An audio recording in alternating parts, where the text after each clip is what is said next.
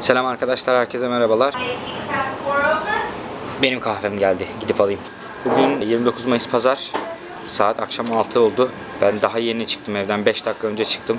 O kadar sıcak bir pazar günü ki evde böyle artık sıcaktan böyle mayıştım ve bütün gün yatarak geçirdim. Böyle bir şeyler izledim, uyudum, uyandım, bir daha yattım, bir daha kalktım falan filan. Hiçbir şey yapmadım bugün ama güzel dinlendim. Şimdi zar zor böyle duş alıp kendimi attım dışarıya. Starbucks'a geldim, bir kahve içeceğim. Ondan sonra da biraz işlerim var burada. Onları halletmem lazım. Ondan sonra da çıkıp gezeceğim. Hadi bakalım.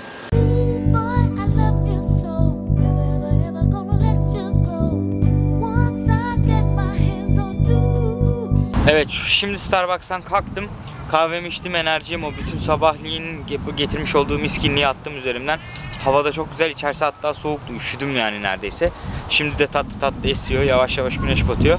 Ben bir e, elektronik markete gideceğim, bir böyle elektronik malzemelerin satıldığı bir markete gideceğim. Oradan işte bu kameranın lensini temizlemek için belki bir şeyler alırım. Bir de geniş açı bir lens bakacağım, fiyatlarına bakacağım. İnternetten fiyatlarına baktım ama uygun fiyatlıysa hemen de alabilirim. E, gidelim bakalım neler varmış. Ben seviyorum böyle teknoloji mağazalarında gezmeyi. Biraz bakalım ne var ne yok.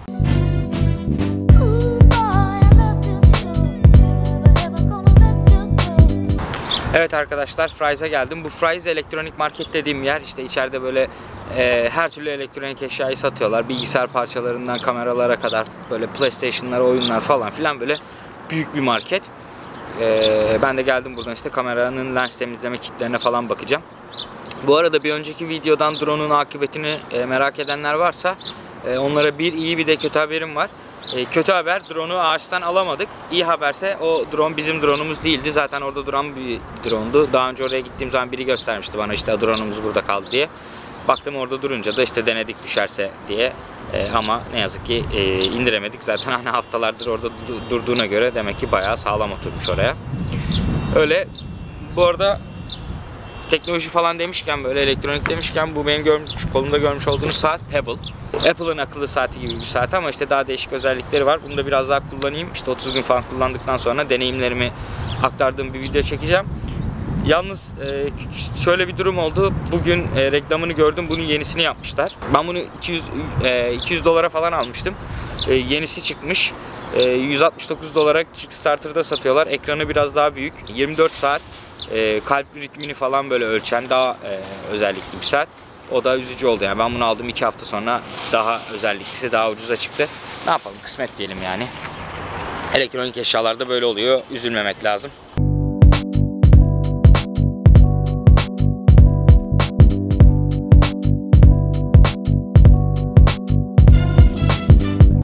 Fryes'da şöyle bir tur attım. Dolandım biraz ama aradığım şeyleri bulamadım. Şimdi Best Buy'a gideceğim. Ya bir şeyler vardı aslında da çok da içime sinmedi. Ee, şimdi Best Buy'a gideceğim. Best Buy'da gene başka bir teknoloji e, mağazası gibi diyebiliriz. Bundan daha ufak ama e, orada da çeşit oluyor gene. Bir de böyle ıvı- ıvır zıvır şeyler daha çok oluyor orada. İşte böyle temizleme jelleri bilmem neler falan filan. Gidip oraya bir bakacağım. Bakalım orada bulursam alacağım bulamazsam da şey yapacağım. Lensi de oraya sorabilirim. Bilmiyorum yeni lens, geniş açı lensi oradan alabilirim. İnternetten almayı düşünüyorum ama burada da lensler vardı da gidip sormadım benim için olan var mı hep. Ee, başka çeşit lensler vardı.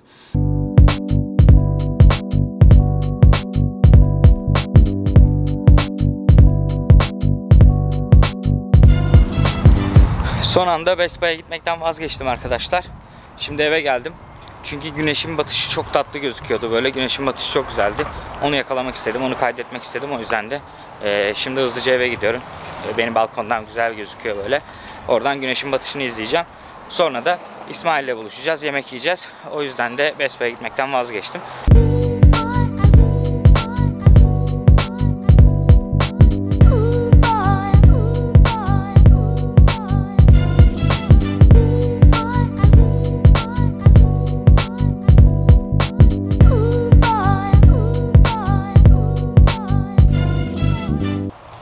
şimdi pizza alacağım. Ondan sonra da İsmail'lere gideceğim. Movie night yapacağız. Ee, movie night'ta şu oluyor. Bu Amerika'nın kültüründe yani bir araya gelip film izlemeye işte movie night diyorlar bu Amerikalılar. Ee, böyle bir konsept var. İşte Netflix and chill. Ha Netflix izle ve dinlen gibi falan böyle kendilerince işte e, kültürel bir e, etkinlik oluşturmuşlar. Adına da movie night diyorlar. İşte ben de gideceğim şimdi pizza alacağım. Game of Thrones izleyeceğiz. Game of Thrones'un yeni bölümü çıktı.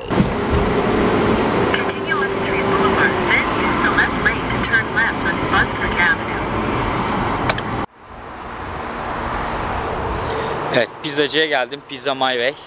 Ee, burası güzel böyle İranlı kardeşlerimizin pizzacısı. Ee, pizzayı buradan alıyoruz çünkü diğer türlü içinde domuz eti olmayan e, etli pizza yemek mümkün olmuyor. Ya sadece işte tavuklu ya da sadece vegetable pizza. Pizzanın da öyle tadı çıkmıyor ama e, bunlar da Müslüman oldukları için domuz eti kullanmıyorlar. Onun yerine böyle dana etinden sucuk veya salam gibi şeyleri var. Ee, veya işte et falan. O yüzden pizzayı buradan alıyoruz. Amerika'da yaşayan e, insanların, Türklerin de problemlerinden bir tanesi de bu. Domuz eti olmadan yiyecek bulmak. Ama burayı ben çok seviyorum yani gerçekten de e, lezzetli bir pizzacı. Hadi bakalım. Evet arkadaşlar geldim şimdi pizzayı daha hazır olması için e, bekliyorum. İsmail pick-up order vermişti. Pick-up order şu oluyor Amerika'da. Türkiye'de de var aslında bu. Hani gelip alacağım siparişi. E, İsmail'e telefon etti artık ya da internetten nasıl yaptı bilmiyorum da arıyor. İşte ben şunu şunu istiyorum. E, gelip alacağım diye e, sipariş veriyor. Ben de gelip buradan alıyorum hiç beklemeden. Ama ben hani İsmail sipariş verdikten hemen sonra çıktığım için burası da bize yakın. E, geldim daha hazır olmamış. 2-3 dakika beklersen hazır olacak dedi. Game of Thrones izleyeceğiz bugün. Game of Thrones'u izlemeye gideceğiz. Ondan sonra Game of Thrones'u izledikten sonra belki ben bu videonun editini yapabilirsem hani e, duruma göre başka bir film izlemezsek bunun editini yaparım. En azından e, biraz da hızlanmış olurum. Yani ertesi yarına bırakmamış olurum. Yarın sabah daha erken kalkıp e, çıkmayı düşünüyorum evden. Bu arada yarın pazartesi ama tatil burada. Memorial Day diyorlar. Memorial Day de bu Amerikan İç Savaşı sırasında ölen şehitleri anma günü. E, o yüzden de bütün Amerika genelinde yani şey e, federal bir e, tatil bu. Bütün Amerika genelindeki bütün iş yerleri ve işte bütün her yer kapalı oluyor. Sadece işte restoranlar, marketler falan böyle belli bir saate kadar açık oluyor ama hani Türkiye'de böyle 23 Nisan 19 Mayıs gibi falan böyle bir e, genel bir bayram. Bu arada benim bu kamerayla ilgili ilk aldığımda sizde hani bundan önceki 2-3 videoyu izlerseniz bir bayağı ağır bir fokus sorunum vardı. Yani hani sürekli unfokus halde dolaşıyordum ortalarda böyle blur blur.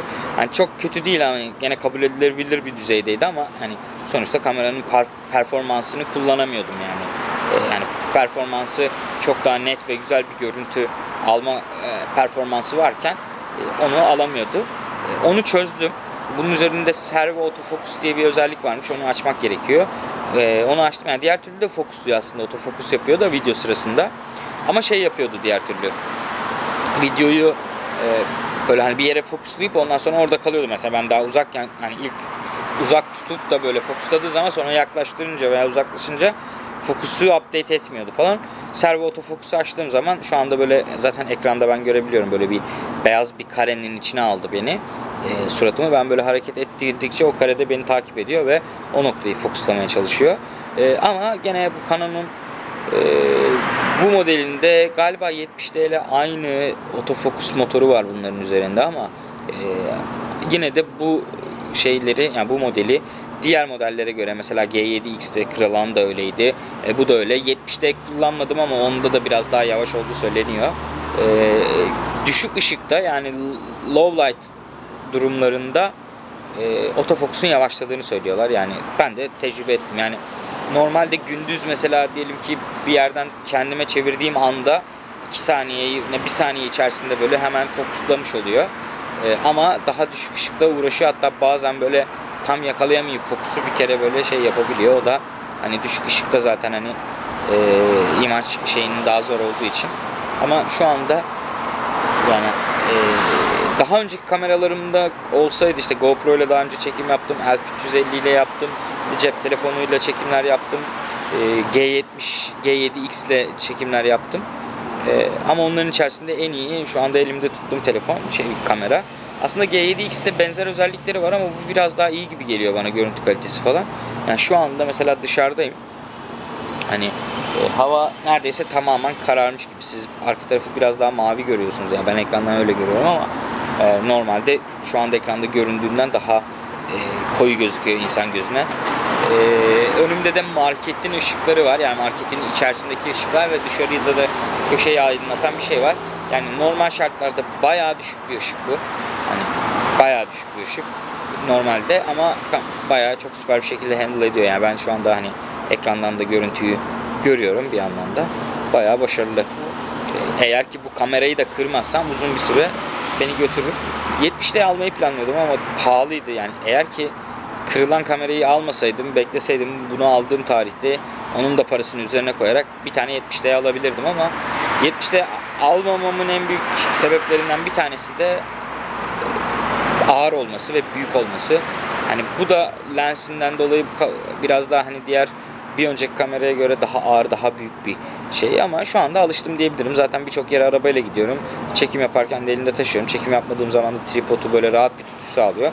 Daha konforlu bir tripod almayı düşünüyorum. Daha e, Joby'nin tripodu var, Gorilla potu var böyle bir tane. E, onu almayı düşünüyorum. E, kaliteli de bir şey alacağım çünkü hani o böyle oynak bir şey olduğu için aynı Gorilla potun başka markaları çok sağlam olmayabiliyor. Hani e, bir, bir, bir müddet sonra yalama oluyor ve böyle hani o yuvarlakları birbirini yani çok eskisi kadar stabil olmayabiliyor. Bir Gorilla Pod alıp deneyeceğim. Ee, hani nasıl olur diye. Eğer ki Gorilla Pod'da daha da rahat olursam. Çünkü mesela bu tripodla bazen daha küçük yerlere böyle çöp kovasının kenarına falan veya işte bir arabanın üzerine falan böyle koyup şey yapmak istiyorum. Bu arada Manfrotto'nun normal bir şeyini kullanıyorum yani bu hani küçük e, tripodunu kullanıyorum. Şu anda 1855 bir lens var üzerinde. E, tamam güzel ama hani standart bir lens. Benim e, geniş açı bir lense geçmem gerekiyor. O yüzden de 11-22 lensi var bu kameraya uygun. Bir de Canon'un bütün lensleri bu kameraya uy- uymuyor. Bunun biraz daha mount küçük. EFM mount diye geçiyor bu. E, hani bağlanan yeri lensin EFM diye geçiyor. Lens modeli daha doğrusu. E, EFM'e uygun da e, en geniş açı lens 11-22 var. Bir tane de 22 var. Küçük.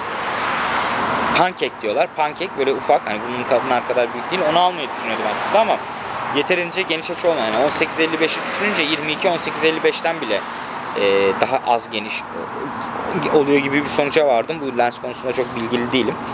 E, o yüzden de hani vazgeçtim onu almaktan. Bir de onda zoom falan da yok.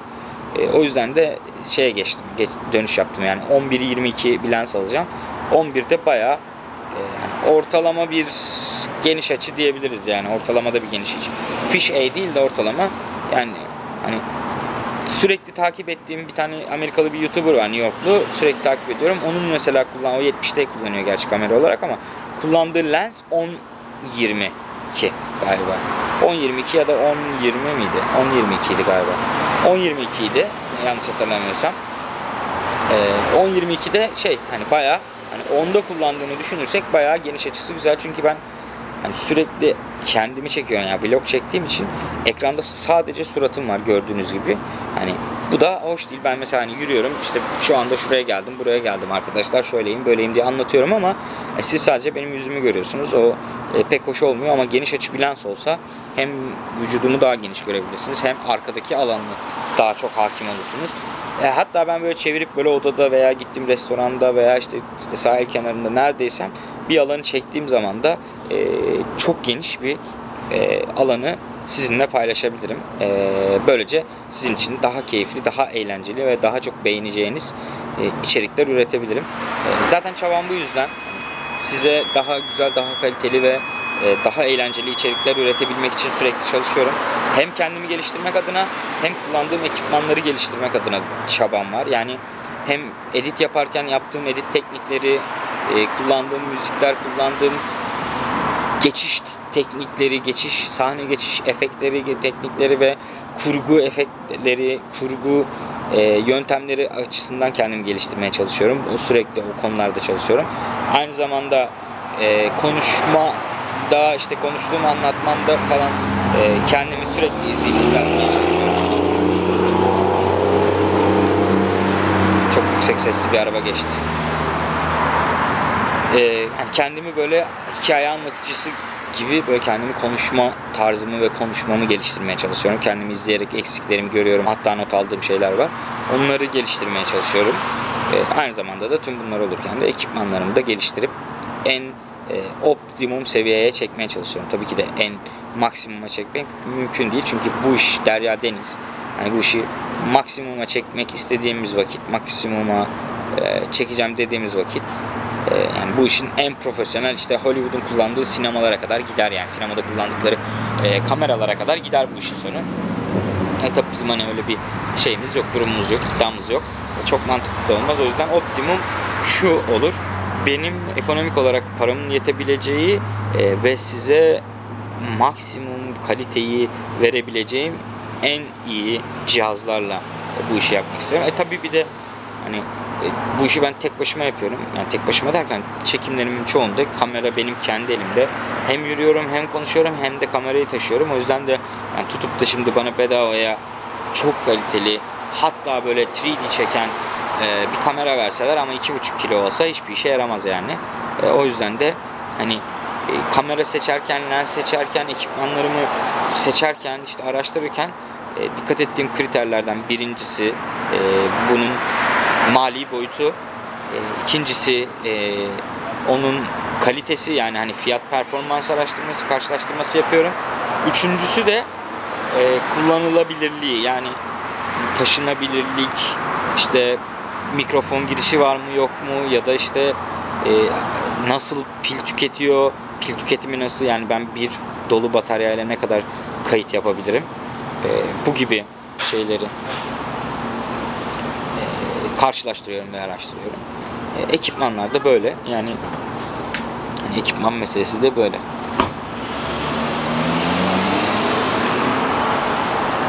Şimdi ben bir güzel bir time lapse bir şey gördüm onu çekeceğim. Hoşçakalın.